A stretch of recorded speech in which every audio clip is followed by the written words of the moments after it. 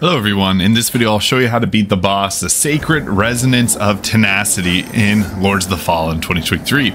So this boss has a Umbral Parasite that you have to take out, and there was two of them the first time that I fought it, so be mindful if you take out one of them and you still have that inability to deal damage, there may be a second one there. For some reason during this attempt there was only one, I'm not sure if there's supposed to be one or two because this was only my second attempt at this boss, but yeah, you can run up to this area here to take out the second one if it appears for you. Now, this boss does deal damage to all enemies around, so I would first focus on taking out the Pilgrim enemies that do range damage and just dodge them as best you can. He's going to do an attack here soon that's going to damage everything and take out all the weaker enemies up top, so you don't have to worry too much about them and then the rest of them will be down pretty easily after he does that attack. Now you just got to be mindful not to let it kill you because it does do a lot of damage. So he, what he does first is he's going to kneel down, power up his hammer, and he'll be imbued with holy damage. And once he does that, then he starts to hit it against his head, and you got to watch out for that. So we're likely going to see it here in a moment.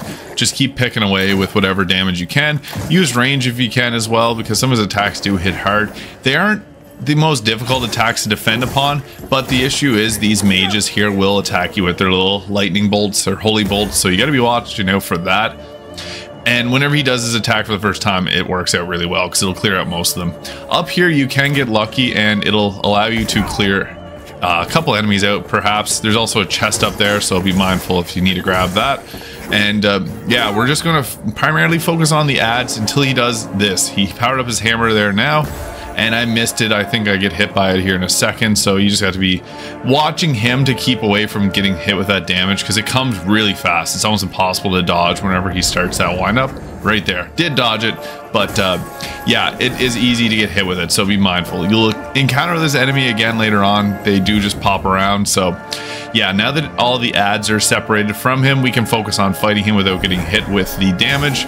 So he is pretty easy to dodge. I would roll to his backside whenever he's doing these attacks. You're going to get a couple extra hits in that way and just keep dodging those heavy hammer attacks. He's pretty well telegraphed, so he will do some of these attacks too where he powers up with holy damage and it gives it a bigger area of effect and he'll also do that hammerhead attack too i was able to dodge it up close but uh, be mindful that his timing on his attacks isn't 100 percent perfect that's why i got hit there and again, he's got that really large hammer attack that does a lot of damage. I have the Umbral Lamp upgrade to give me some extra damage when I perfect guard or perfect dodge against him, and he's a good one to get that dodge on.